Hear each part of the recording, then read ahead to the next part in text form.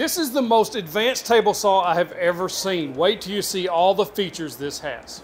I'm here with Mr. Brad Snyder from Altendorf with some of the coolest technology I've seen on table saws to date. I appreciate you stopping by the booth. What we got here? This is the Altendorf handguard system. It is a preventative system instead of a reactive one to save these. It's the only one of its kind, unique. It does not utilize any kind of capacitive system. It actually utilizes cameras with an AI algorithm to monitor and track your hand, even if your hand is not quite, you know, right. So let's just go through. It's got computer programming right here. You can store your programs if you have uh, regular cuts that you make on a daily basis, store that information in here. But we'll get down to the nitty gritty of what you really want to see. Start the saw. Let it come up to speed. We have an LED feedback light. That LED is telling me that the saw is on but everything is safe. As I go through here, it's green, it's yellow. Saw spinning, it does not see a hand. It's green, it sees a hand and it says you're safe. You yeah. can make the cut. So, as I walk through, nothing happens. It's perfectly fine. It will allow me to make a cut a little, slightly closer, but it's telling me don't go any further. Yeah. So I can make that cut too. I'm moving slow. Let's say I get in a dangerous area. I've made a million cuts. I'm an old dog. I know how these tricks work, so I don't need to listen or worry about nothing. I got it. I put my hand way too dang close, and I move it way too fast. Oh, wow. I will not get to the point of cutting myself. Yeah, and that doesn't ruin your blade. It doesn't do anything. We call it a drive system. It is not dropping. It is driven down. It is 250 kilograms that motor assembly weighs, and it is moving fast. Right. It does not bottom out. For an industrial purposes, when it activates and I reset it, it takes about 10 seconds for me to be cutting again. Really? So you're back on the job. And then I, I kick it back on, and right I, now, I go change my shorts. yeah. And I get back to work. So right now, this is just industrial setting, right? Yeah, well, I mean, if you're a hobbyist and you you got the money, by all means, brother, I will ship it. I promise you that. But that's not the only interesting thing about this whole machine, right? You was talking about the guide rail system and, and how oh, well this balances. In all of our saws, Wilhelm Altendorf invented the sliding table saw the progenitor of this company, invented it about 118 years ago. The system that is underneath this sliding table is what I consider sets us apart from everyone else. It's a double dumbbell roller system. If you think of like looking at a train and the uh, wheels that are on the train, that's kind of what it looks like. They're about yay big, beefy, overkill. Yeah. But this system will last 50 years. I told you, I walked into a shop, guy had two from 1986, yeah. seven, working like a top. Yeah all the forces of this table are fed directly uh, uh, perpendicular to the ground. It's equally distributed. It's e there you go. It's equally distributed, not at any angles. Right. This tabletop will hold 250 kilograms. I can move it with a finger. How many pounds is that?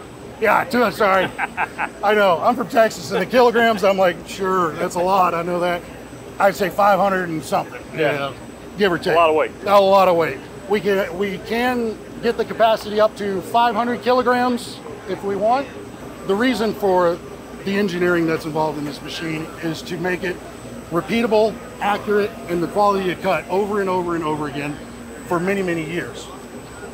A CNC machine base, it's not bolted together. It is a single unit now. Oh, okay.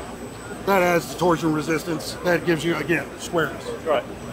Problem in all of our shops at times. We have CNC rip fence on this side. We have the capability of actually making one or two stops CNC control. These are our manual right now on this particular element. Instead of using an eyeglass, let's say you have multiple employees. Everybody's going to read that scale a little bit different.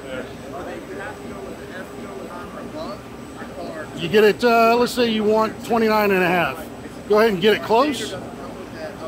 We can fine tune it up where it needs to be. Nice. Put it right in the center of that channel and now you can push it forward. Everything is fine, perfect. You're gonna make that cut, no problem. It will not activate. So now we drag it back. Let's say, let's get it back further. Because it's actually, we have a scoring unit, which is a little bitty uh, a blade that just barely comes up. So it will activate if I, uh, if I get too close to do this. So from right here, Go ahead and just put your hand like that. Okay. Run it forward. Go for it. Get after it. it's terror. It's it's terrifying the first time. Again, all of this over engineering equates to a machine that's going to last forever and a sliding table saw that you don't have to worry about Yeah. because it's an open system. Dust, particles, they're going to get in there. There's a lot of maintenance that you have to deal with with this system. Once every three, four, five years, take some compressed air and blow it in there. That's it. I know it's tough. It's tough. Go ahead, if you Super would, give it, give it a push. Try the slide out for me. Yeah, smooth as butter. You could push it one hand, one finger, Yeah, whatever super you like. Do me a favor, bring it all the way back. No, bring it all the way back. My athletic body that I've worked so hard for is roughly 260 pounds. I'm gonna sit all the way on the end here.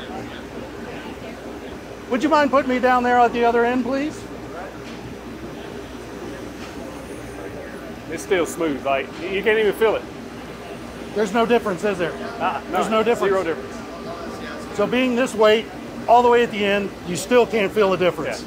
It just speaks to the quality, the craftsmanship, and the engineering overall. Yeah. Our concept of this double dumbbell roller system was the same concept that Wilhelm Altendorf invented. Yeah.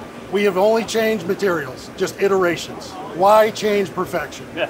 Awesome, man. Thanks, Thank Brad. you so much for stopping by. I, re- I really do appreciate it. Now, I know a lot of you want to know how much this costs. Well, this is for commercial applications and not for the hobbyist or even a small scale production. So, with that in mind, these are quite expensive. Now, my hope is that they bring this technology, specifically the hand detection technology, to lower models at some point in the future. Let me know in the comments or you can text me your thoughts on this. I have some really cool tools to show you that I saw at AWFS Fair coming soon. Be sure to hit that subscribe button.